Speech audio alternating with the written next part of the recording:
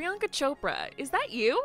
The Isn't It Romantic actress is gorgeous at any age, but we hardly recognized her in her latest throwback from her pageant days.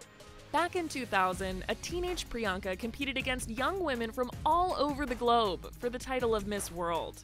She ended up taking home the crown and had her family by her side to celebrate. Now, nearly two decades later, Priyanka is sharing a double take worthy snap from way back then, reminding us how far she's come. In the photo, she's sporting her Miss World sash, dark hair, and a sweet smile. She wrote, hashtag TBT, Miss World at 18 years old. Feels like just yesterday I was living this dream. Now, almost 20 years later, my enthusiasm for changing the status quo remains strong and is at the core of everything I do. And I truly believe girls have the power to bring about change if they get the opportunities they deserve. Hashtag strive higher. Hashtag dream big. More than half a lifetime later, Priyanka has evolved her look, going from pageant queen to Bollywood star to global icon. She's never been afraid to experiment, trying out various eye colors, hairstyles, and makeup routines.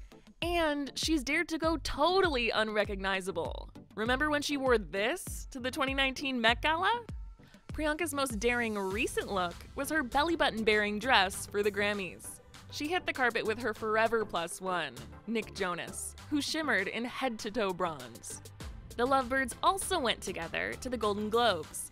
They shared a kiss for the Access Hollywood cameras and talked about the surprisingly awesome Christmas gift Nick got for Priyanka a snowmobile. Were you in the bed one night like, babe, you know what I really want? I am dying to have. You know, all of, the, all of those snow sports we did and growing up, I'm dying to have a. snowboarder.